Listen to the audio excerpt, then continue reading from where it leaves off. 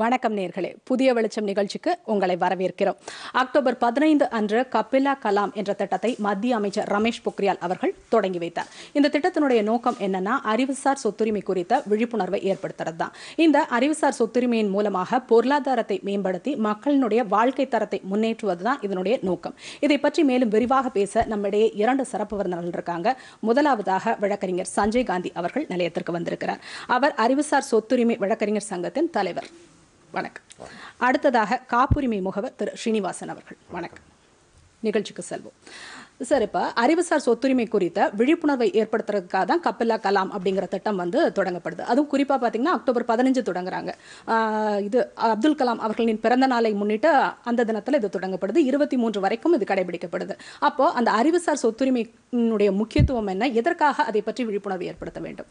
அறிவுசார் சொத்துரிமை சட்டம் என்பது இன்றைய தினம் ஒரு புதிய கண்டுபிடிப்பு கண்டுபிடித்தாலோ அல்லது புதிய எழுத்தாற்றல்களை தனக்கு தான் அதை படைக்க வேண்டும் என்று எழுத்தாளர்கள் விரும்பினாலோ அல்லது ஒரு வணிக சின்னம் தனக்கு தான் வேண்டும் என்று அந்த வணிக உரிமையாளர் கோரினாலோ அனைத்தையும் அந்த இன்டலெக்சுவல் ப்ராப்பர்ட் ரைட்ஸ் அப்படிங்கிற சட்டத்திலே பதிவு செய்யப்பட வேண்டும்.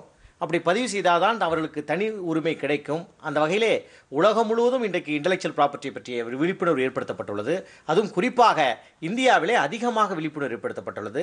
இப்போ சமீபத்திலே பாரத பிரதமர் அவர்களோட அவர்கள் அவர்களோட பேட்டன் கண்டுபிடித்தால்தான் நாட்டின் பொருளாதாரம் உயரும் என்றும் கூட சொல்லியிருக்கிறார்கள். ஆகவே இன்றைய கட்டாயம் அப்துல் கலாமுடைய பிறந்தநாளை முன்னிட்டு அனைவரும் புதிய புதிய கண்டுபிடிகளை கண்டுபிடித்து அது மக்களுக்கு பயனுள்ள ஒரு மாற்றத்தை ஏற்படுத்த வேண்டும் என்பதுதான் இந்த விழிப்புணர்வுடைய நோக்கம். ஓகே. இப்போ ஸ்ரீனிவாசன் சார் உங்ககிட்ட இந்த திட்டத்தை வந்து தொடங்கி வைக்கும்போது அமைச்சர் வந்து ஒரு விஷயத்த சொல்றாரு. அதாவது இந்த அறிவுசார் சொத்துரிமையின் வாயிலாக தன்னிறைவு இந்தியாவை அடையணும். அதுவும் எப்படின்னு பார்த்தீங்கன்னா குறிப்பாக இளைஞர்கள் வந்து நிறைய புதிய கண்டுபிடிப்புகளை கண்டுபிடிக்கணும். கண்டுபிடிக்கிறதோட நிக்- நிக்காம அதுக்கு வந்து காப்புரிமை வாங்கணும். ஏன்னா அதை பாதுகாத்து வைக்கணும் இல்லையா? அதை வந்து குறிப்பிட்டு சொல்றாரு. அதை பத்தி விளக்கமா சொல்லுங்களேன். அதாவது எப்படின்னாக்க நம்ம வந்து நம்ம ட்ரெடிஷ்னலி நம்ம வந்து இந்தியன் ட்ரெடிஷன் என்னன்னாக்க நம்ம புதுசாக கண்டுபிடிச்சிட்டு உடனே இமீடியட்டாக பப்ளிஷ் பண்ணிடுவோம். பப்ளிஷ் பண்ணால் எல்லாரும் யூஸ் பண்ணலாம் அப்படிங்கிற மாதிரி வந்துடும் அதை வந்து அது ஜஸ்ட் கைண்ட் ஆஃப் ப்ரொடெக்ஷன் கொடுக்கறதுக்காக இஃப் யூ வாண்ட் உங்களுக்கு சொந்தமாக இருக்கணும் அப்படிங்கனாக்க you have to register with the property அதாவது நம்ம இது எப்படின்னாக்கா நம்ம வந்து ஒரு வீடு வாங்குறோம் அப்படின்னாக்கா நம்ம ரிஜிஸ்டர் ஆஃபீஸில் போய் ரிஜிஸ்டர் பண்ணுறோம் அந்த மாதிரி இந்த மாதிரி இனி புதிய கண்டுபிடிப்புகள் அல்ல எதுவுமே வந்து நம்ம அப்ராப்பரியாக ரிஜிஸ்டர் பண்ணணும். அப்போ தான் வந்து நமக்கு அந்த ரைட்ஸ் கிடைக்கும். ஓகே அப்போ அந்த காப்புரிமைங்கிறத பத்தி இன்னும் கூட விளக்கமா சொல்லுங்களேன். காப்புரிமைங்கிறது ஆ காப்புரிமைங்கிறதுன்னு சப்போஸ் நாங்கள் இப்போ பார்த்தீங்கன்னாக்கா நான் வந்து ஒரு புதுசாக ஒரு மிஷின் மிஷின் கண்டுபிடிச்சிருக்கேன் இல்லை மருந்து கண்டுபிடிச்சிருக்கேன்னா அதை நான் வந்து அந்த பேட்டன் ஆஃபீஸில் போய் ரிஜிஸ்டர் பண்ணணும். ப்ராப்பராக வேறு ப்ரொசீஜர்ஸ் இருக்குது அது வந்து கிளைம்னு சொல்லுவோம். அந்த மாதிரி அந்த கரெக்டாக என்ன எப்படி பண்ணோம் எப் அதனால் எப்படி பண்ணால் என்ன பலன்? சப்போஸ் புது மருந்தாக இருந்தனாக்கா அது என்ன நோய்க்காக நம்ம கண்டுபிடிச்சிருக்கோம் அந்த டீட்டெயில்ஸ் எல்லாமே வந்து பேட்டன் அப்ளிகேஷனில் கொடுக்கணும். அதை வந்து அவங்க பேட்டன் ஆஃபீஸ்காரங்க வந்து எவாலுவேட் பண்ணுவாங்க. வெதர் இஸ் இட் ஏன்னா வந்து முக்கிய முக்கியமானது பேட்டனை பார்த்தீங்கன்னாக்கா வந்து மூணு டெஸ்ட் இருக்குது novelty inventive step and industrial applicability சொல்லுவோம். நாவல்ட்டினாக்கா நம்ம என்னைக்கு ஃபைல் பண்ணுறோமோ அன்னைக்கு வந்து அந்த இன்வென்ஷன் வாட் அந்த கண்டுபிடிப்பு புதுசாக இருக்கணும். யாருக்கும் தெரிஞ்சிருக்கக்கூடாது இன்வென்டி ஸ்டெப் அப்படின்னு சொன்னாக்கா should அதாவது ஒரு ஹியூமன் இன்டர்வென்ஷன் இருக்கணும். சும்மா சிம்பிளாக வந்து நான் இது இருக்குது இதை வந்து நான் இதை வச்சு சப்ஸ்டியூட் பண்ணிட்டேன்னு சொல்லக்கூடாது. அனதர் இன்னொன்று it should be applicable to useful to the mankind. அது இல்லைன்னா ஒன்றும் பிரயோஜனமே கிடையாது. That is more effective okay so இந்த மூணு கண்டிஷன் ரொம்ப compulsory for the patent of okay Sanjay Gandhi அவர்களிடம். அதாவது இப்போ சொத்துக்கள்ல வந்து அசையும் சொத்துக்கள் அசையா சொத்துக்கள்ங்கிறத தாண்டி அறிவுசார் சொத்துக்கள்ங்கிறது வந்து ரொம்ப வித்தியாசமானது. அதாவது அறிவை பயன்படுத்தி உருவாக்கக்கூடிய சொத்துக்கள். அப்போ அதுல வந்து பாத்தீங்கன்னா அந்த பேட்டன் ரைட்ஸ் காப்பி ரைட்ஸ் எல்லாமே அதுக்குள்ள தான் வருது. அப்போ அதுக்கான சட்டங்கள் என்ன மாதிரியான ஸ்பெஷலைஸ்ட் லாஸ் வந்து அதுக்காக இருக்கு? அதை பத்தி விளக்கமா ப்ராப்பர்ட்டி ரைட்ஸ் லான்னா அதாவது அறிவுசார் சொத்துரிமை சட்டங்கள்ல ட்ரேட்மார்க்ஸ் இருக்குது பேட்டன்ட் இருக்குது காப்பிரைட் ஆக்ட் இருக்கு ஜாகிரபிள் இண்டிகேஷன் ரைட்ஸ் அதாவது புவிசார் குறியீடு சட்டங்கள் இருக்குது. ஜிஐன்னு சொல்றது. அப்புறம் பயோடைவர்சிட்டி ஆக்ட் இருக்குது. Plant varieties farmer protection rights அதாவது விவசாயிகளுடைய உரிமைகள் மற்றும் தாவரவியல் உரிமைகள் ஒன்று இருக்குது. அப்புறம் இன்ஃபர்மேஷன் டெக்னாலஜி ஆக்ட் இருக்குது. அதுக்கு பிறகு சைபர் கிரைம் இருக்குது. காம்படிஷன் லா இருக்குது இப்படி இன்டெலெக்சுவல் ப்ராப்பர்ட்டியில் ஒரு ஏழு எட்டு லாவுக்கு மேலே இருக்கிறது. இதை அனைத்தையுமே தான் இன்டெலெக்சுவல் ப்ராப்பர்ட்டி லா என்று சொல்கிறோம் அவங்க யாரெல்லாம் எந்தெந்த வித அறிவுசார் உரிமைகளை கொண்டாடுறோ அதுக்கேற்ற பதிவு அலுவலகங்கள் இருக்கன. அங்கே போய் அதை பதிவு செய்யணும். உதாரணமாக புதுசாக ஒருத்தர் கண்டுபிடிச்சாருன்னா நம்ம தமிழ்நாட்டில் சென்னையில் இருக்குது அந்த அலுவலகம். அதே போல் ஒருத்தர் புதிதாக எழுதினார்னா அந்த எழுத்தை காப்பிரைட்டில் பண்ணுறதுக்கு டெல்லியில் இருக்குது. புதுசாக ஒரு தாவரத்தினுடைய விதையை ரெஜிஸ்ட்ரேஷன் பண்ணால் அது டெல்லியில் போய் பதிவு பண்ணணும். இப்படி ஒ- ஒவ்வொரு துறைக்கும் ஒரு பதிவு அலுவலகம் இருக்கிறது இந்தியாவிலே. தமிழ்நாட்டை பொறுத்தவரையில் ட்ரேட்மார்க் இருக்கிறது பேட்டர்னுக்கு இருக்கிறது ஜிஐ இருக்கிறது பயோடைவர்சிட்டி ஆக்டுக்கு இருக்குது. இந்த கண்டுபிடிப்பாளர்கள் அந்தக்கான சொ அறிவுசார் சொத்துரிமையை உரிமை கோருபவர்கள் தத்தம் தன்னுடைய அலுவலகத்திலே பதிவு செய்தால் அவர்களுக்கு உரிமை கிடைக்கும். ஆகவே இந்த அனைத்து சட்டங்களும் இந்தியாவில் இயற்றப்பட்டுள்ளன. இன்டர்நேஷனல் ஆப்ளிகேஷனுடைய அஹ், சட்டங்களை நாம் மதித்து நம்ம இந்த இன்டலெக்சுவல் ப்ராப்பர்ட்டி லாவை இந்தியாவில் ஏற்றிருக்கிறோம். அது முகம் இந்தியா. இன்னைக்கு முன்ன இன்டலெக்சுவல் ப்ராப்பர்ட்டி லாவில் டாப் லெவலில் இருக்குது இந்தியா. அப்படின்னு சொல்லலாம். இப்போ அறிவுசார் சொத்துரிமை எந்த காலகட்டத்துல இருந்து முக்கியத்துவம் பெறுது? இப்போ உதாரணமாக இப்போ பார்த்தீங்கன்னா ஆயிரத்தி தொள்ளாயிரத்தி தொண்ணூற்றி அஞ்சாம் ஆண்டு தான் நம்ம இந்தியா வந்து ஒப்பந்தம் உலக வர்த்தக நாடுகளிடையே ஒப்பந்தம் போட்டுது. ட்ரிப்ஸ் அக்ரிமெண்ட்டில் ட்ரிப்ஸ் அக்ரிமெண்ட்டில் போட்டுக்கிட்ட உடனே நம்ம இந்தியாவில் புதிய இந்த ஆக்டை மாடிஃபை பண்ணியிருக்கோம். புதுசு புதுசாக அமெண்ட்மெண்ட் கொண்டு வந்திருக்கோம். பேட்டன் ஆக்டில் அமெண்ட்மெண்ட் கொண்டு வந்திருக்கோம். காப்பிரைட்ஸில் அமெண்ட் கொண்டு வந்திருக்கோம். ட்ரேட்மார்க்ஸில் அமெண்ட் கொண்டு வந்திருக்கோம். புதுசாக ஆயிரத்தி தொள்ளாயிரத்தி தொண்ணூற்றி ஒம்போதில் ரெண்டாயிரத்தி ரெண்டாம் ஆண்டு விதி உருவாக்கப்பட்ட சட்டம் தான் புய்சார் குறியீடு சட்டம்னு உருவாக்கியிருக்கோம். அந்த புய்சார் குறியீடு சட்டத்தில் இன்னைக்கு எண்ணற்ற பொருட்கள் தமிழகத்தினுடைய பொருட்கள்லாம் பதிவு செய்யப்பட்டிருக்கின்றன. இப்போ லேட்டஸ்ட்டாக இப்போ பதிவு செய்யப்பட்டுள்ள ஸ்ரீவில்லிபுத்தூர் பால்கோவா அப்புறம் லேட்டஸ்ட்டாக கோவில்பட்டி கோவில்பட்டி கடலை மிட்டாய். இப்போ லேட்டஸ்ட்டாக அரும்பாவூர் உட்கார்விங் மர வேலைப்பாடு தஞ்சாவூர் பித்தோருக்கு. இப்படி எண்ணற்ற பொருட்கள் நம்ம தமிழ்நாட்டினுடைய பாரம்பரியமிக்க தனிச்சிறப்புடைய பொருட்கள் புவிசார் குறியீடு சட்டத்திலே பதிவு செய்யப்பட்டுள்ளன. இதெல்லாம் நம் அறிவுசார் சொற்று சொருமை சொத்துரிமை சட்டம் மூலம் நம் இந்திய இந்திய நாட்டினுடைய பாரம்பரியமிக்க தனிச்சிறப்புடைய தனி உரிமை கோருகின்ற நமக்குன்னு நம்முடைய பண்பாட்டிற்கென்ற ஒரு உரிமை நம் நாகரிகத்திற்கென்ற உரிமை இதெல்லாம் இன்டெலெக்சுவல் ப்ராப்பர்ட்டியில் நம்ம ரிஜிஸ்ட்ரேஷன் பண்ணி வச்சுன்னா யாருமே இதை வந்து உரிமை கோர முடியாது. மற்ற நாடுகள் உரிமை கோர முடியாது. மற்றவங்க உரிமை கோர முடியாது. இன்னைக்கு உதாரணமாக ஸ்ரீவில்லிபுத்தூர் பால்கோவோ நான் ரைட்ஸ் வாங்கி கொடுத்துருக்கோம் நாங்கள் கோயில்பெட்டி கடலை மிட்டாய்க்கு ரைட்ஸ் வாங்கி கொடுத்துருக்குறோம். இவங்கெல்லாம் அது உணவு பண்டங்கள். இப்போ லேட்டஸ்ட்டாக வந்து சேலம் சாகோ சவரிசி சவரிசிக்கு கேட்டு விண்ணப்பிக்கப்பட்டிருக்கிறது. ஒருத்தர் உலக போர் வருகின்ற பொழுது உணவுக்கு பஞ்சம் ஏற்பட்டது. அப்போ சேலத்திலிருந்து தான் சவரிசி வந்து எல்லாருக்கும் விநியோகிச்சிருக்காங்க. சவரிசி மரவிலக்கில் இப்படி அதை வந்து பாரம்பரியமான ஒரு உணவுப் பொருட்களும் நம்ம இந்தியா தமிழ்நாடு தலைஞ்சிருந்து இருக்கிறது. ஓ ஓகே. இப்போ சார் சொன்ன மாதிரி பார்த்தீங்கன்னா இப்போ காப்பிரைட் அப்படிங்கிறதுல வந்து நிறைய வேரியேஷன் இருக்கு இப்போ உங்களுக்கு. காப்புரிமைங்கிறது என்ன? இல்லை காப்பிரைட் ட்ரேட்மார்க் லோகோ மக்களுக்கு வந்து அதுக்குள்ள ஒரு குழப்பம் இருக்கு. எதுக்கான உரிமை? அறிவுசார் சொத்துரிமையிலே எது எது எந்தெந்த கேட்டகரிக்குள்ள வருது அப்படின்னு. அதை பத்தி கொஞ்சம் விளக்கமா சொல்லுங்க. அதாவது பார்த்தீங்கன்னாக்கா எல்லாமே இன்டெலிஜென்ட் ப்ராப்பர்ட்டி ஏன்னா டிஸ் கிரியேஷன் ஆஃப் மைண்ட் இப்போ பேட்டன் ஒன்று இருக்குது பேட்டன் எதுக்காக பண்ணுறோம் புது பொருட்கள். இல்லை அந்த பொருட்களை பண்ணுற அந்த மெத்தட் இதுக்கு நம்ம பேட்டன் வாங்கலாம். இப்போ அது வந்து ட்ரேட்மார்க் இருக்குது ட்ரேட்மார்க்னா அந்த லோகோ விசை பெப்சி கோகோ கோலா பேரி இதெல்லாம் வந்து இப்போ ட்ரேட்மார்க்னு சொல்லுவோம். காப்பிரைட் எதுக்குனாக்கா நம்ம பாட்டுகள் நம்ம சம்மர் இது எழுதுகிறோம் கவிதைகள் எழுதுகிறோம் சினிமா பாடல்கள் தென் மியூசிக் இதுக்கெல்லாம் வந்து காப்பிரைட்டு டிசைன்ஸ் அப்படிங்கன்னு பார்த்தீங்கன்னாக்கா எக்ஸ்டர்னல் அப்பியரன்ஸ் உள்ளது. மே- இதுக்கு ஃபார் எக்ஸாம்பிள் மவுஸ் இருக்குது பார்த்தீங்கன்னா நிறைய எல்லா மவுஸ் இருக்குது எல்லா மவுஸும் தெரிஞ்சது தான் பட் ஒவ்வொன்றும் ஒவ்வொரு அப்பியரன்ஸ் வைஸ் டிஃப்ரென்ஸ் இருக்கும். So it is called designs protection பெறுது. அப்புறம் வந்து அப்போது நீங்கள் புதுசாக ஒரு பிளான்ட் கண்டுபிடிக்கிறீங்க அப்படின்னாக்கா பிளான்ட் வெரைட்டி ப்ரொடெக்ஷனில் போய் இங்கே ரிஜிஸ்டர் பண்ணிக்கலாம். ஸோ இதான் வேரியேஷன் ஸோ நம்ம ஜென்ரலாக கலோக்கியில் பார்த்தோம்னா எல்லாமே பேட்டர்ன் பேட்டர்ன் சொல்லுவாங்க இல்லை ட்ரேட்மார்க் சொல்லுவாங்க. பட் இது அப்ரோப்ரியேட்டாக புரிஞ்சுக்கிட்டு கரெக்டாக அப்ரோச் பண்ணணும். இல்லைன்னா தப்பு தப்பாக நமக்கு அப்ரோப்ரியேட் ப்ரொடெக்ஷன் நமக்கு கிடைக்காது. அதாங்க முக்கியம். ஓகே.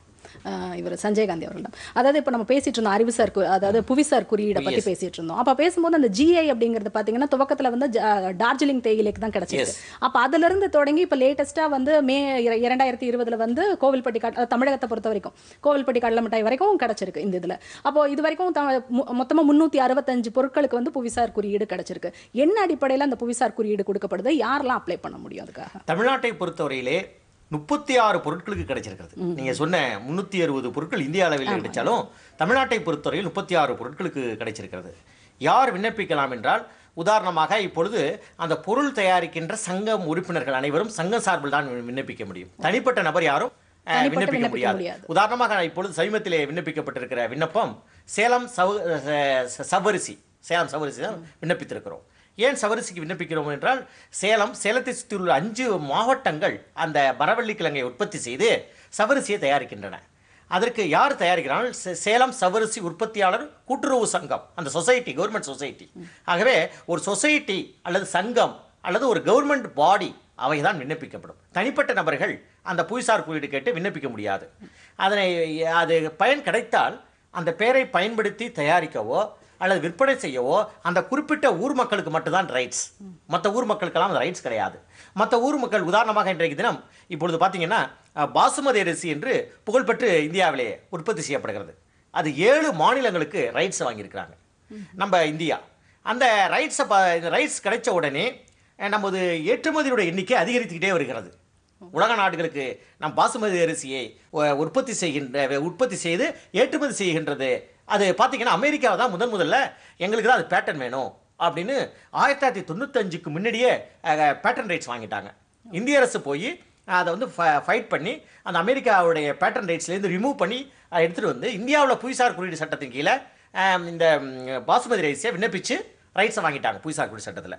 இப்போ உலக நாடுகள் முழுவதும் இந்தியாவுடைய இந்த பாசுமதி ரைஸுக்கு உரிமை கேட்டு விண்ணப்பிக்கப்பட்டு வருகிறது. இப்போ சமீபத்தில் நீங்கள் பேப்பர்லலாம் பார்த்துருப்பீங்க. யூரோப்பியன் யூனியனில் நம்ம இந்தியா வந்து போய் அங்கே விண்ணப்பிச்சிருக்காங்க. அந்த நாட்டிலையும் உரிமை வேணும் அப்படின்னு சொல்லி. அப்போ வந்து பாகிஸ்தான் நாடு வந்து அதை வந்து எதிர்ப்பு தெரிவிச்சிருக்காங்க அப்படின்னு செய்தித்தாளை நான் படிச்சிருக்கிறேன். அப்போ உலக நாடுகளிலே நமது பாசுபதி ரேசனுடைய எண்ணிக்கையும் மவுசும் கூடிக்கொண்டே போகிறது. அதுபோல நீங்கள் சொன்னீங்களா டார்ஜிலிங் டீ அந்த டார்ஜிலிங் டீமே இந்தியாவில் மட்டும் பதிவு செய்யவில்லை. முதல் முதலில் புவிசார் குறியீடு சட்டம் இயற்றிய உடனே ரெண்டாயிர ரெண்டாயிரத்தில் தான் ரெண்டாயிரத்தி ரெண்டாம் ஆண்டு தான் இந்த இந்த விதிகள் உருவாக்கப்பட்டது. உடனடியாக முதல்ல எஸ் சட்டம் உருவாகியது ஆயிரத்தி தொள்ளாயிரத்தி தொண்ணூற்றி ஒம்பது. ரெண்டாயிரத்தி ரெண்டுல விதிகள் உருவாக்கப்பட்டாங்க. முதல் பொருள் கிடைச்ச பொழுது டார்ஜிலிங் டீ. இன்னைக்கு முதல் பொருளும் உலக அளவில் எல்லா நாடுகளையும் பதிவு செய்யப்பட்டிருக்கிற பொருளும் டார்ஜிலிங் டீ தான். அந்த டார்ஜிலிங் டீயோட எண்ணிக்கையும் உயர்ந்துக்கிட்டே போகுது. இப்போ லேட்டஸ்ட்டாக நீல்கிரி டீயுடைய ஏற்றுமதி இன்க்ரீஸ் பண்ணிட்டு இருக்கு உலக நாடுகளை பார்த்தீங்கன்னா சைனாவை முந்துற அளவுக்கு நம்ம இந்தியாவுடைய டீ எக்ஸ்போர்ட் இன்க்ரீஸ் ஆகிட்டு இருக்கு அது காரணம் நம்ம வந்து இதோட குவாலிட்டி ஜிஏ ஆக்ட்ல பதிவு பண்ணியிருக்கிறது தான் ஆகவே இந்த புவிசார் குறியீடு பதிவு பண்ணுற நோக்கமே நம்ம ஏற்றுமதியை பெருக்குவது மற்றவங்க யாரும் மிஸ்யூஸ் பண்ணாமல் அதை தடுப்பது. விவசாய பொருட்கள் இந்தியாவில் நிறைய விவசாய பொருட்கள் தமிழ்நாட்டை எடுத்துக்கிட்டீங்கன்னு வச்சுங்க இப்போ வந்து தே- தேனியில திராட்சை இருக்குது. அதை இந்த நம்ம இதில் கொண்டாடலாம் பன்னீர் திராட்சை. பன்னீர் திராட்சை. இப்போ உதாரணமாக கும்பகோணம் வெத்திலை. இப்படி விவசாய பொருட்கள் சீரக சம்பா ரைஸ்.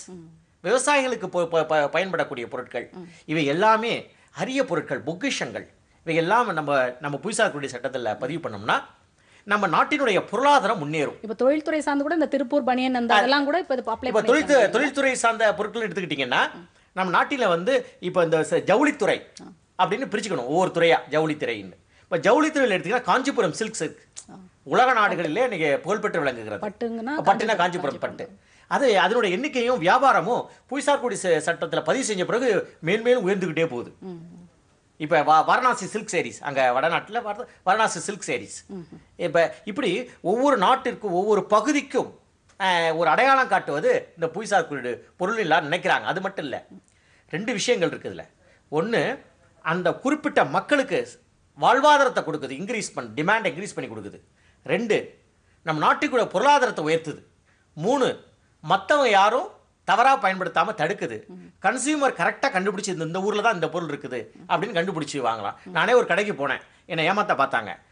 இந்த மார்தாண்ட தேனுன்னு அதை விற்க பார்த்தாங்க. மார்தாண்ட தேனுக்குன்னு ஒரு தனித்தன்மை இருக்குது. அதில் பாக்ஸில் மார்தாண்டன் இருக்கும். அப்படின்னு அதை கண்டுபிடிச்சி நீ ஏங்க போய் சொல்கிறீங்க இதில் எழுதலையே? அப்படின்னு நான் கண்டுபிடிச்சி அவங்கள்ட்ட சொன்னேன். அப்புறம் சேலம் பட்டை வந்து இது சேலம் பட்டுன்னு ஒருத்தர் விற்க முயற்சி பண்ணாங்க. நான் கண்டுபிடிச்சேன் இல்லை சேலம் சில்க்னா எழுதியிருக்கேன் சார் அந்த ஜி நம்பர் என்னங்க? அப்படின்னு நான் கேட்டேன். இப்போ லேட்டஸ்ட்டாக பார்த்தீங்கன்னா இப்போ மத்திய இந்திய அரசு ஒரு ஒரு புதிய பொது லோகோ வெளியிட்டிருக்கிறாங்க. எதெல்லாம் அந்த முந்நூற்றி ஐம்பது பொருட்கள் சொன்னீங்களே முந்நூற்றி ஐம்பது பொருட்களுக்கு ஒரு புது பொது லோகோ இந்த லோகோ யார் அதை அஃபிக்ஸ் பண்ணாங்க தான் ஒரிஜினல் ப்ராடக்ட் நம்ம கண்டுபிடிச்சு வாங்கலாம். அந்த புவிசார் குறியீடு. பொய் ஒரு குறியீடு இருக்கு. குறியீடு அப்ப இந்த இப்ப இந்த வாரம் இந்த வாரம் கண்டுபிடி மத்திய அரசு அனுசரிக்கிற வாரம் இருக்குது. இது வந்து அறிவுசார் எழுத்தறிவு தினம். அதுல வந்து நம்ம எழுத்து அதை வந்து டைப் அடிச்சு அதை எழுதி அஃபிக்ஸ் பண்ணி வைக்கணும். அப்படின்னு நான் வேண்டிக்கிறேன். மக்கள் வந்து அதை பார்த்து படிச்சு புரிஞ்சுக்குவாங்க. மக்கள் பொதுமக்கள் புரிஞ்சுக்குவாங்க. அதை இளைஞர்களிடையே நாம நான் வந்து இப்போ என்ன பண்ணிட்டு இருக்கேன்னா இப்போ மாணவர்களுக்கெல்லாம் இந்த புவிசார் குறியீடு சட்டத்தை பற்றி விழிப்புணர்வுலாம் கொடுத்துட்டு இருக்கேன். ஏன்னா நான் என்னுடைய நோக்கம் என்னன்னா பள்ளி மாணவருடைய இப்போ ஜப்பான்லாம் எடுத்துக்கிட்டிங்கன்னா ஜப்பானில் நான் சுற்றுப்பயணம் செஞ்சுட்டு இருக்கும்போது அங்கே வந்து ஸ்கூல் லெவன்த்து டுவெல்த்து டென்த்து நைன்த்துக்கு இன்டெலெக்சுவல் ப்ராப்பர்ட்டி பற்றி டீச் பண்ணுறாங்க ஓ. ஐபிஆர் லாவை பற்றி அதனால தான் இப்போ லேட்டஸ்ட்டாக மத்திய அரசும் மா- மாணவர்களுக்கு இண்டல இண்டஸ்ட்ரீஸ் காமர்ஸ் டிபார்ட்மெண்ட்டு ஸ்கூல்ஸே எடுத்து சில கிளாஸஸ் ஆன்லைனில் எடுக்கிறாங்க. அதெல்லாம் மா மாணவர்கள் பயன்பெறணும் இளைஞர்கள் பயன்பெறணும். அப்போ தான் அவன் கண்டுபிடிக்கிறது இவங்க கண்டுபிடிக்கிறதுக்கு முன்னாடி இந்த ஐபிஆர் லாலாசை என்ன அப்படின்னு அவங்க தெரிஞ்சுக்கிறதுக்கு வாய்ப்பு இருக்குது புதிய கண்டுபிடிப்பு இதை வெளியிடக்கூடாது. இதை ரிஜிஸ்ட்ரேஷன் பண்ண தான் வெளியிடணும். அப்படிங்கிறது பேட்டர்னு இந்தியாவில் பாரம்பரியமாக இருக்குது. ஏற்கனவே இருக்கிற பொருளை வந்து ஜிஇயில் கொடுக்கணும். பாரம்பரிய தாவர விதைகள் வெளிநாட்டுகளுக்கு எடுத்துகிட்டு போகாமல் இங்கே பண்ணுறது இதெல்லாம் வந்து அறிவுசார் அறிவுசாரில் வருதுமா அது மட்டும் இல்லை இப்போ நம்ம இந்த தாவரங்கள்ல மட்டும் இல்லை விலங்கினங்கள் எடுத்துங்க. ராஜபாளையம் டாக் அது ரொம்ப ஃபேமஸ் இந்த கோம்பை அதெல்லாம் ஒரு அந்த மாதிரி அந்த அந்த மாதிரி ஒரு உயிரினுடைய மிருகங்கள் அனைத்துமே இந்த பகுதிகளில் இந்த இந்த கால தட்பவெப்ப நிலையில் வளரக்கூடியது. இதையும் பாதுகாக்கிறதுக்கு நம்ம மத்திய அரசு விரைவிலே சட்டம் ஏற்று நம்புகிறோம் ஓகே.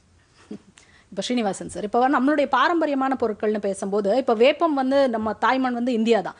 வேப்பம் ஆகட்டும் இல்லை மஞ்சள் ஆகட்டும் அதுலேருந்து தயாரிக்கக்கூடிய பொருட்களுக்கு பார்த்தீங்கன்னா இந்தியா வந்து காப்புரிமை வாங்கினதை விட அதிகமாக வந்து அமெரிக்காவில் மற்ற வெளிநாடுகள் வந்து அதிகமாக வாங்கியிருக்காங்க.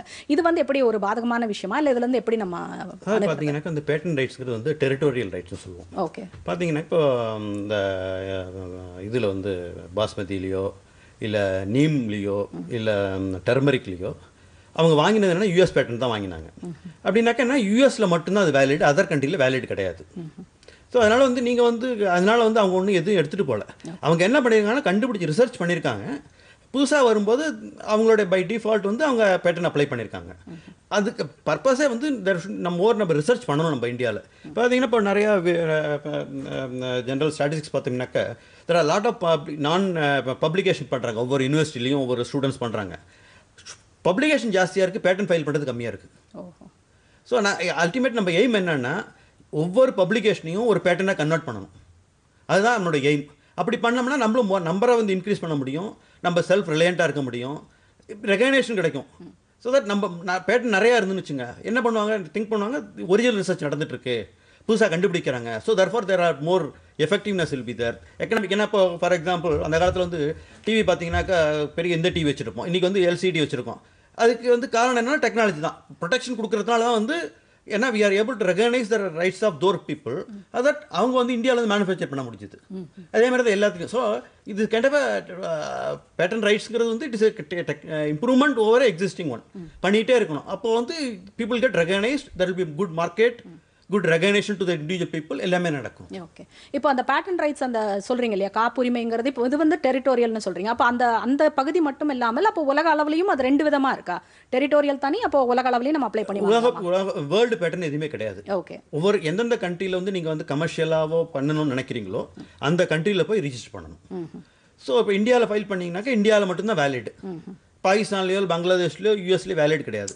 அதனால வந்து இது பப்ளிஷ் ஆகிடும் ஸோ அந்த கண்ட்ரியில் உள்ளவங்க வந்து they can very well practise it okay உங்களுக்கு ப்ரொடெக்ஷன் வேணும்னா நீங்கள் அந்த கண்ட்ரியில் போய் ஃபைல் பண்ணணும். அப்போ தான் உங்களுக்கு ப்ரொடெக்ஷன் கிடைக்கும். அது இல்லைன்னா பண்ண முடியாது. ஸோ என்ன பண்ணணும்னா அதான் it's very costly procedure costly process ஏன்னா அல்டிமேட்லி வந்து பார்த்தீங்கன்னாக்கா எல்லாமே link to commercial activity so அதனால் வரும்போது you to invest.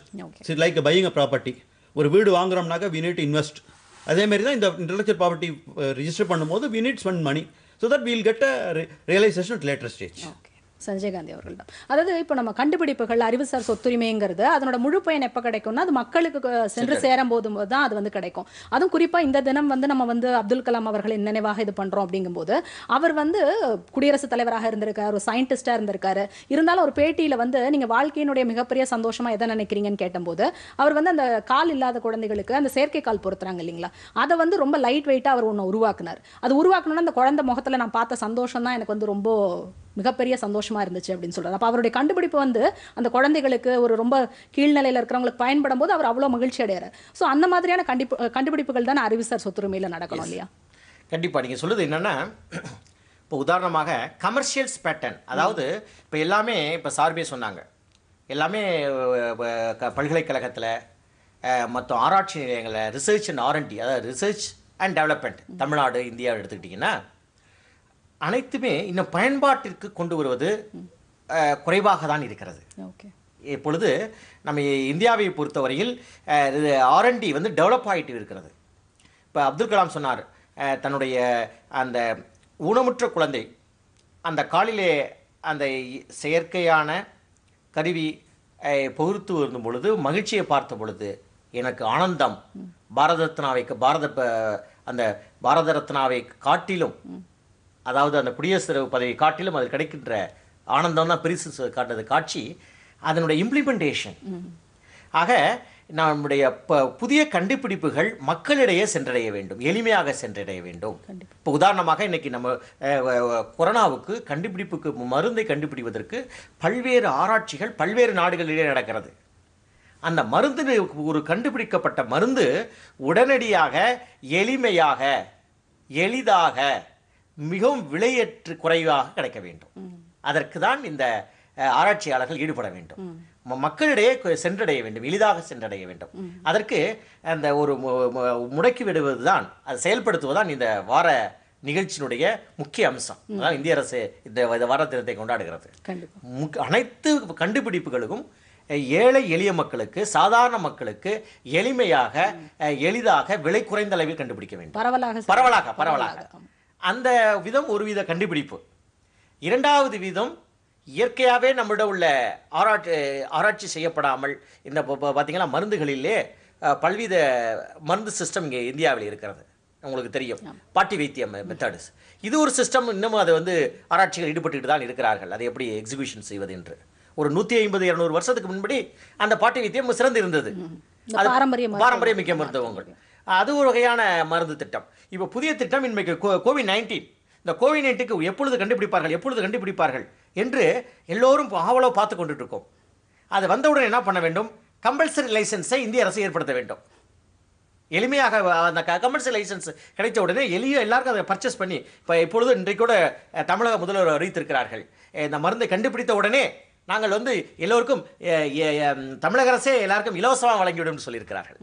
அது மிகவும் உச்சக்கட்ட ஒரு மகிழ்ச்சியான தருகிறது. இதுதான் அந்த கண்டுபிடிப்பினுடைய மகத்துவம். அதை உடனடியாக கண்டுபிடிக்க வேண்டும். அதை அதை கண்டுபிடிப்பதற்கு இளைஞர்களுக்கும் மாணவர்களுக்கும் ஆராய்ச்சியாளர்களுக்கும் இந்த ஆர்என்டி அப்படிங்கிற ஸ்கீம் இங்கு இப்பொழுது தமிழகத்திலே அண்ணா ஐஐடியில் இருக்கிறது. ஆர்என்டி அது பல்கு பெரிய பெரிய பல்கலைக்கழகத்தில் இருக்கிறது. அதெல்லாம் ஏழைகளுக்கும் ம- இந்த மாதிரி நடுத்தர மக்களுக்கும் இந்த கண்டுபிடிப்புகளை முடக்கிவிட வேண்டும் துரிதப்படுத்தப்பட வேண்டும். அப்பொழுதுதான் இந்த அறிவுச்சார் சொத்துரிமையினுடைய பயன்பாடு கண்டிப்பாக மக்களை சென்றடையும். ஸ்ரீனிவாசன் சார் இப்போ உங்ககிட்ட. இப்போ மருத்துவத்துறையை பொறுத்த வரைக்கும் இந்திய மருத்துவத்துறை வந்து உலக நாடுகளை கம்பேர் பண்ணும்போது நம்ம வந்து ரொம்பவே முன்னேறி தான் இருக்கோம். அதுவும் இன்னும் குறிப்பாக சொல்லப்போனால் பெரிய நோய்களான எய்ட்ஸ் ஆகட்டும் இல்லை ஒரு கேன்சர் ஆகட்டும் நம்மகிட்ட கிடைக்கிற மருந்துகள் வந்து ரொம்ப குறைந்த விலையிலான மருந்துகள். அதை வந்து தடுக்கணும்னா தடுக்கணுங்கிறதுக்காகவே வெறி வெளிநாட்டு பெரிய நிறுவனங்கள் வந்து வழக்கு போடுறாங்க. அதை எங்களுக்கு வந்து காப்புரிமை கொடுங்க. அதாவது அந்த விலையை வந்து உயர்த்தி இது பண்ணணும். அது சார்ந்த கேசஸ் எல்லாம் வந்து நம்ம நீதிமன்றங்களில் பதிவாயிருக்கு. அதை பற்றியும் சொல்லுங்களேன். பார்த்தீங்கன்னாக்கா நார்மலாக வந்து ஒரு புது மருந்து லான்ச் பண்ணணும் அப்படின்னாக்க அவங்க கிட்டத்தட்ட பன்னெண்டு வருஷம் ரிசர்ச் பண்ணுவாங்க. ஏன்னா கிளினிக்கல் ட்ரையல்ஸ் வேரியஸ் ட்ரையல்ஸ் எல்லாம் இருக்குது அதெல்லாம் பண்ணதுக்கப்புறம் தான் வந்து அவங்க லான்ச் பண்ணுறாங்க ஸோ அதனால் வந்து வாண்ட் அவங்க அந்த ஆர்என்டி இந்த ட்ரையல்ஸ்குள்ளே என்னென்ன ஸ்பெண்ட் பண்ணாங்களோ they want to collect some to some extent that is what the ultimate purposes ஏன்னா அப்போ தான் அவங்களுக்கு ஃபர்தராக புது புது மருந்துகள் கண்டுபிடிக்க முடியும். அதுக்கேற்ற மாதிரி ஒன்ஸ் அவங்க புது மருந்து கண்டுபிடிச்சிட்டாங்கனாக்கா தே வாண்ட் அவங்க ரிஜிஸ்ட்ரேஷன் பண்ணணும்னு எதிர்பார்ப்பாங்க. அப்போ வந்து அங்கே காஸ்ட்லியாக விற்பாங்க. அதுக்கேற்ற மாதிரி மிஸ்யூஸ் பண்ணுறதுக்கு சப்போஸ் சப்போஸ் சம்படி மிஸ்யூஸ் பண்ணுறாங்க அப்படின்னாக்கா நம்ம இந்தியன் லாவில் வந்து அப்ரோப்ரியேட் மெக்கானிசம் இருக்குது பார்த்தீங்கன்னாக்கா ப்ரீ கிராண்ட் ஆப்போசிஷன் சொல்லுவோம். சப்போஸ் ஒருத்தங்க அப்ளிகேஷன் ஃபைல் பண்ணியிருக்காங்க அது சரியில்லை அப்படின்னு சொல்லி யாராவது தெரிஞ்சதுனாக்கா they can very well oppose that a pre grant opposition பண்ணலாம். இல்லை கிராண்ட் ஆயிடுச்சுனதுக்கு அப்புறம் போஸ்ட் கிராண்ட் அப்போசிஷன் சொல்லிட்டு அதுக்கு அப்ரோப்ரியேட் ரீசன் இருக்குது அதாவது ஒரு ப- பதினேழு பதினெட்டு கிரவுண்ட் இருக்குது அந்த கிரவுண்ட் யூஸ் பண்ணி இந்தந்த காரணங்கள்னால இந்தந்த பேட்டர்ன் வந்து கிராண்ட் பண்ண தப்புன்னு சொல்லி ஆர்கியூ பண்ணலாம். அதுக்கப்புறமும் சப்போஸ் அதுவும் தர முடியலன்னா ரிவோகேஷன் சொல்லிட்டு க- பண்ணலாம் தர சேஃப்டி மெக்கானிசம்ஸ் ஆர் அவைலபிள் அப்படியும் ஜாஸ்தி பார்த்தீங்கன்னா கம்பல்சரி லைசன்சிங் ஒரு மெக்கானிசம் இருக்குது அதில் government can very well intervene and அவங்களே வந்து அந்த பேட்டன் ரைட்ஸை வாங்கிக்கிட்டு they can menu as the manufacturer to manufacture medicines எல்லாமே பண்ணலாம். So there are enough mechanism in patent law to safeguard the public interest இந்த மருத்துவ இதுல வந்து அந்த நோவாட்டஸ் வழக்குன்னு ஒண்ணு பிரபலமானது இருக்கு இல்லையா? அதை பத்தி கொஞ்சம் சொல்லுங்களேன். அது எப்படின்னாக்க அது வந்து அது ஆக்சுவலி வந்து எனக்கு தெரிஞ்ச வரைக்கும் என்னன்னா அது வந்து டிஸ்கார்டட் இன்வென்ஷன் அது வந்து நைன்டி த்ரீலேயே அவங்க வந்து யூஎஸ்ல ஃபைல் பண்ணிட்டு அப்புறம் விட்டுட்டாங்க. அப்புறம் சடனாக இதை ஃபர்தர் ரிசர்ச் பண்ணும்போது அவங்க என்ன பண்ணாங்க அது வந்து it is very good for the blood cancer சொல்லி கண்டுபிடிச்சாக்காங்க கண்டுபிடிச்சிட்டு வந்து இந்தியாவில் வந்து ஃபைல் பண்ணாங்க. சப்சிக்வெண்ட்டாக இந்தியாவில் ஃபைல் பண்ணும்போது ஆஹ், என்ன ஆச்சுன்னா அப்போ தான் வந்து நம்ம வந்து law- புது லா இன்ட்ரடியூஸ் பண்ணோம். ட்ரிப்ஸ் அக்ரிமெண்ட் படி இன்ட்ரடியூஸ் நியூ லா அப்போ என்ன சொன்னோன்னா ப்ராடக்ட் பேட்டர்ன் அலோவ் பண்ணோம். அதுக்கு முன்னாடி வரைக்கும் ப்ராடக்ட் பேட்டர்ன் கிடையாது. With respect to medicines or food ப்ராடக்ட்ஸ்க்கு அப்போது ப்ராடக்ட் பேட்டர்ன் வரும்போது then the issue is how to invalidate patent சொல்லி Indian manufacturers they try because they want to compete with products அப்போ வரும்போது தே ஃபைல் அப்போசிஷன் இந்த மாதிரி சொன்னாங்க. இந்த மாதிரி இந்த as per the new law வந்து இது பேட்டர்ன் கொடுக்கக்கூடாது அப்படின்னு சொல்லிட்டு செக்ஷன் த்ரீ டின்னு ஒன்று சொல்லுவோம். அதில் வந்து என்ன சொன்னாங்கன்னாக்கா அவங்க வந்து தெர் இஸ் பாலிமாரிக் ஃபார்ம்னு சொல்லி ஒரு அதாவது இட் இஸ் ஆல்ரெடி தெரிஞ்ச ட்ரக் தான். அதனோட இன்னொரு ஃபார்ம் வச்சு இந்தியாவில் ஃபைல் பண்ணாங்க. அப்போ வந்து இந்தியன் மேனுஃபேக்சரர்ஸ் அப்போஸ் பண்ணாங்க. இந்த மாதிரி ஆஸ் பர் த லா வந்து அது பண்ணக்கூடாதுன்னு சொன்னாங்க. அப்போ அது பேட்டன்ட் ஆஃபீஸில் ரிவோகேஷன் ப்ரீ கிராண்ட் அப்போசிஷன் போச்சு. அப்புறம் வந்து ஐபிஐபிக்கு வந்து இன்வேலிடேட் பண்ணாங்க. அவங்க ஐபிஐபி சொன்னாங்க கரெக்ட் பேட்டன் ஆஃபீஸ் சொன்னது கரெக்ட் அப்படின்னு சொன்னாங்க. அப்புறம் it is reach supreme court supreme கோர்ட்லேயும் சொன்னாங்க லா கரெக்ட் அவங்க என்ன பண்ணாங்கன்னா தே கொஸ்டின் த லா லா தப்பு அப்படின்னு சொன்னாங்க. அப்புறம் வி இந்தியன் கவர்மெண்ட் என்ன சொன்னதுன்னா லா படி கரெக்டு தான். ஆஸ் பர் த லா இந்த பேட்டன் கொடுக்க முடியாது அப்படின்னு சொன்னாங்க. அதோட நின்று போயிடுச்சு. So that's it is happened okay அவர் சஞ்சய் காந்தி அவர்களிடம். அதாவது அறிவுசார் சொத்துரிமையில தமிழகம் வந்து இது வரைக்கும் அடைந்திருக்கக்கூடிய நிலை என்ன? இன்னும் போக வேண்டிய தூரம் என்ன? தமிழகத்தை பொறுத்தவரையில் இன்னைக்கு நம்மளது கண்டுபிடிப்புகள் வணிகக் குறிகள் அப்புறம் வந்து புவிசார் குறியீடு டிசைன்ஸு அப்புறம் வந்து தா தாவரவியல் உரிமை சட்டங்கள் அதாவது பிளான் வெரைட்டிஸ் ஃபார்மல் ரெஜிஸ்ட்ரேஷன் சட்டம் இவற்றிலெல்லாம் முன்னிலையில் தான் இருக்கின்றன. உதாரணமாகவே இந்த புவிசார் குறியீடு பதிவுகள்னு எடுத்துக்கிட்டிங்கன்னா இந்தியாவிலேயே இரண்டாவது இடத்தில் இருந்த தமிழ்நாடு இப்போ முதலிடத்திலே போக போகிறது. அந்த அளவுக்கு முன்னிலையில் இருக்கிறது. அதே போல் பேட்டன் ரைட்ஸ் அப்படின்ட்டு பார்த்தீங்கன்னா நம்ம ஐஐடி மெட்ராஸ் அண்ணா யூனிவர்சிட்டி தனி தனியார் பல்கலைக்கழகங்களும் அதிக அளவில் இப்பொழுது விழிப்புணர்வு அடைந்து அப்புறம் இன்டலெக்சுவல் ப்ராப்பர்ட்டி ஃபெசிலிட்டேஷன் சென்டர் இப்படின்ற சென்டர்கள்லாம் இப்பொழுது பல்கலைக்கழகங்கள்லாம் உருவாக்கி இருக்காங்க. அது மட்டும் இல்லை ஒவ்வொரு பல்கலைக்கழகங்களும் என்ன செய்ய வேண்டும்? இந்த நேரத்திலே நான் அதை சுட்டிக்காட்டுகிறேன். தமிழகத்தில் உள்ள ஒவ்வொரு பல்கலைக்கழகமும் இந்த இன்டலெக்சுவல் ப்ராப்பர்ட்டி ஃபெசிலிட்டேஷன் சென்டரை உருவாக்க வேண்டும். சமீபத்திலே நான் தமிழ்நாடு திறந்தநிலை பல்கலைக்கழகத்தில் எனக்கு கிடைச்ச வாய்ப்பிலே நான் அந்த பல்கலைக்கழகத்தில் இன்டலெக்சுவல் ப்ராப்பர்ட்டி ஃபெசிலிட்டேஷன் சென்டர் ஒன்றை ஏற்படுத்த வேண்டும் என்ற கோரிக்கை வைத்து அவர்கள் ஏற்றுக்கொண்டிருக்கிறார்கள் இதுவரை ஒவ்வொரு பல்கலைக்கழகமும் intellectual property facilitation facilitation centre ஏற்படுத்தினால் அந்த ஃபெசிலிட்டேஷன் சென்டர் மூலம் எல்லா மாணவர்களும் இளைஞர்களும் தங்களுடைய பேட்டன் ரைட்ஸ் ட்ரேட்மார்க்கை எளிமையாக எளிதாக பதிவு செய்து கொள்ள அந்த ஃபெசிலிட்டேஷன் சென்டர் ஃப்ரீயாகவே ஹெல்ப் பண்ணலாம். அந்த அளவுக்கு மத்திய அரசு மானியங்கள் எல்லாம் அந்த இன்டலெக்சுவல் ப்ராப்பர்ட்டி ஃபெசிலிட்டேஷன் சென்டருக்கு வழங்குகிறது. ஆக தமிழ்நாட்டினுடைய பங்கு என்ன என்றால் புவிசார் குறியீடு சட்டத்திலே தமிழ்நாடு இன்றைக்கு இரண்டாம் இடத்திலிருந்து முதலிடத்தை நோக்கி செல்கிறது. ஹையஸ்ட் ரெஜிஸ்ட்ரேஷன் இப்பொழுது சமீபத்திலே தஞ்சாவூர் பித்தூர் கரும்பாவூர் உட்கார்வம் கிடைத்த உடனே முப்பத்தாறு பொருட்களுக்கு கிடைத்திருக்கிறது எண்ணிக்கை. கர்நாடகா தான் முதல் மாநிலமாக இருந்தது. தமிழ்நாடு ரெண்டாவது இடத்தை வந்திருக்கிறது. இப்போ அது வந்து டாப் லெவல் வரப்போகிறது. அதே போன்ற பொன்னி அரிசி அப்படின்று உங்களுக்கு தெரியும். அவ்வளோதான் அந்த பொன்னி அரிசி வந்து நம் த த- தமிழ்நாட்டிலே உற்பத்தி செய்யப்பட்ட அரிசி மலேசியா அதை வந்து ஃபைல் பண்ணி சக்ஸஸ் பண்ணியிருந்தாங்க. இப்போ வந்து நம்ம இந்தியா வந்து ரிவோக் பண்ணியிருக்காங்க பொன்னி ரைஸை அப்போ தமிழ்நாட்டுக்கு ரைஸ் கிடைக்கணும்னா இப்போ இந்த பொன்னி ரைஸை தமிழ்நாடு அரசு உடனடியாக இந்த அறிவுசார் சட்டத்திலே பதிவு செய்ய வேண்டும். செஞ்சு அதுக்கான முயற்சிகளை முயற்சி எடுக்க வேண்டும். கண்டிப்பா. இந்த அளவுக்கு தமிழ்நாட்டுடைய பங்கு இம்பார்ட்டன்ஸ் ஓகே அறிவுசார் சொத்துரிமை சார்ந்த பல பயனுள்ள பல புதிய கருத்துக்களை ரெண்டு பேருமே பகிர்ந்துக்கிட்டீங்க மிக்க நன்றி. நன்றி. நன்றி நேயர்களே. மீண்டும் அடுத்த புதிய வெளிச்சம் நிகழ்ச்சியில் சந்திப்போம். வணக்கம்.